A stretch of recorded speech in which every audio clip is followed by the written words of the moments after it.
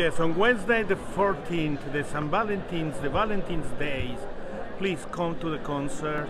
Uh, we are preparing a very special repertoire for you. You will enjoy that as we are enjoying singing for you. Thank you very much.